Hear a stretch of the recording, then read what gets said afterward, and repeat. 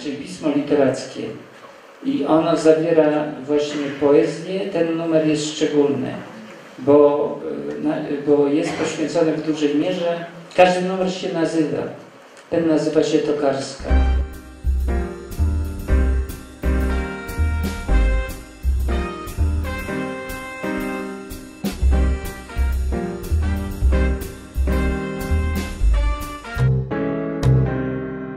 Wydaliśmy już 45 numerów kwartalnika Prolibris. Y, ostatni numer y, poświęciliśmy głównie y, sylwetce Anny Tokarskiej, nieodżałowanej dla nas autorki, która była nie tylko naszym współpracownikiem, ale też wielkim przyjacielem. Sądzę, że każdy, kto chociaż musnął kultury lubuskiej, wie, kim była Ania Tokarska. Pracowała bardzo długo na uniwersytecie, pracowała w teatrze lubuskim. Była osobą niezwykle skromną, świetna poetka. Wydała łącznie pięć tomików. Y, niemniej, y, mimo niewielkiego dorobku, zasłużyła na to, aby pisać o niej. Sądzę, że nie tylko w tym numerze Prolibris będzie jeszcze wielokrotnie wspominana.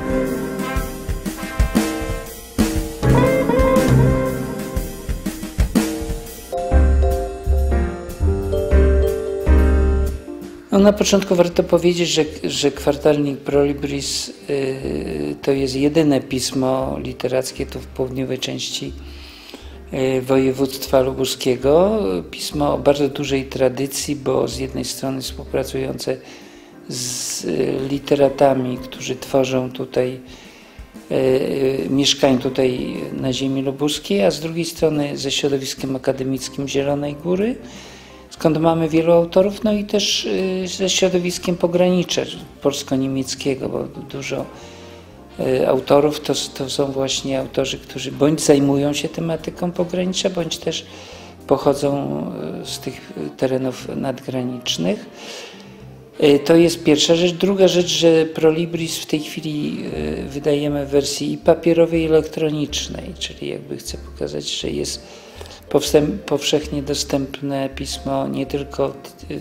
I trzecia rzecz, pismo również ma zasięg ogólnopolski, bo między innymi dostępne jest w sieci e, empikowskiej, więc to jest największa taka sieć z autorytetem, jeżeli chodzi o pisma literackie w obecnej chwili. Warto powiedzieć, że, że Prolibris no, przede wszystkim e, daje szansę na zauważanie zjawisk nie tylko literackich, ale muzycznych, plastycznych, czyli filozoficznych, czyli społecznych, czyli, czyli e, no jakby struktura numeru to są i prezentacje twórczości każdego numeru, i prezentacje twórczości oryginalnej, i też e, dyskusja na temat tej twórczości w formie krytycznej. Każdy numer to jest też debiut plastyczny. Pani profesor e, Magdalena Gryska zajmuje się tą stroną w redakcji i z racji swojej pracy na Wydziale Artystycznym y, Uniwersytetu Zielonogórskiego w każdym numerze pojawia się młody plastyk i prezentacja jego w formie i opisu, i biografii, i wkładki też, też y, kolorowej, która prezentuje tę pracę.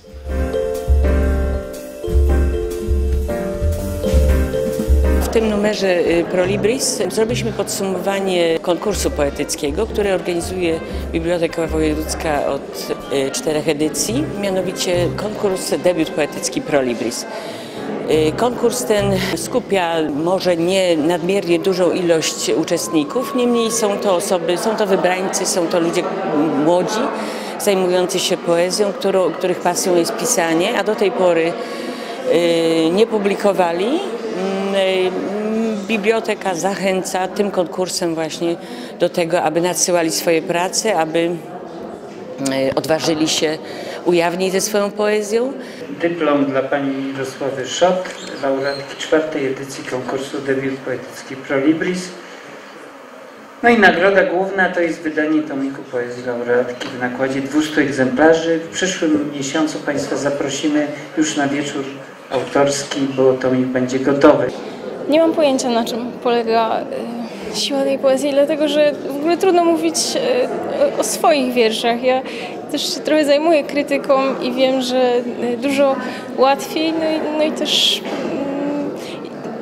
dużo łatwiej i ciekawiej pisać o innych, czytać innych i na ten temat się wypowiadać niż, niż na temat swojej poezji, do której notabene nie ma się dystansu.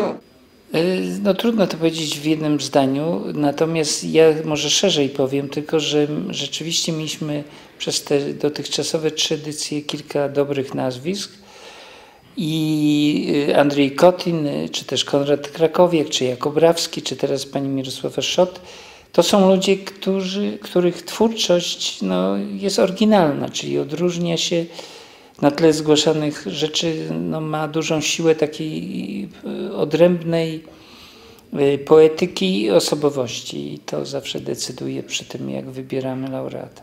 Środowisko e, literackie e, Zielonej Góry, czy lubuskie środowisko literackie jest zróżnicowane i myślę, że, e, że dosyć trudne z tego względu, że to jest małe środowisko. Wszyscy się znają, są czasami różne napięcia w tym środowisku. Trudno czasami powiedzieć coś na temat literatury, bo, bo często jest to odbierane jako właściwie jakoś, jako zdanie na temat osoby, a nie na temat literatury.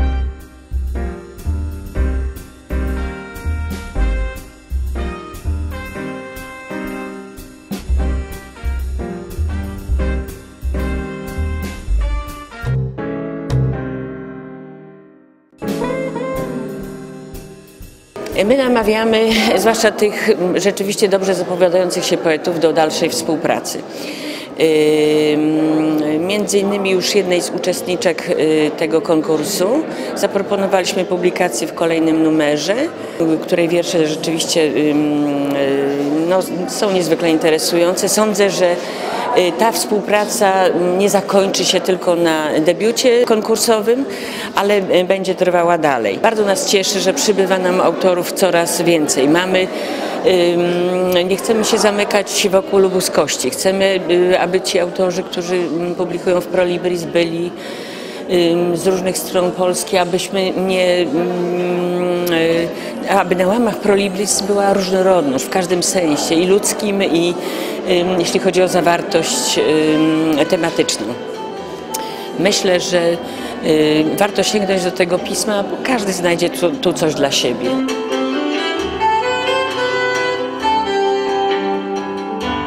Przygoda z piosenką, e, w której mam nadzieję Państwo także odnajdą wiele takich momentów, w których stosownym będzie lekko się wzruszyć, może nawet upuścić jedną albo dwie łezki, a uśmiechnąć to z pewnością, bo niektóre z nich rzeczywiście Państwu przypomną e, siermierzne może trochę, ale jednak cudowne we wspomnieniach czasy lat 60. i 70.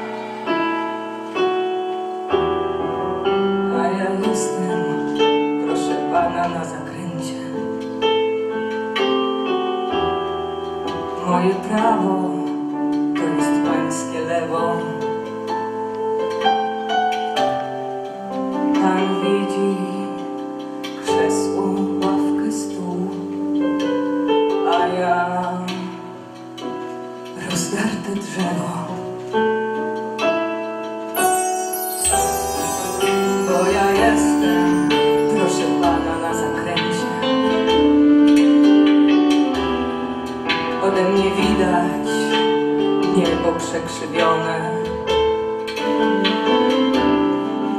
Pan dzieli każdą zimę, każdy świt na pół. Pan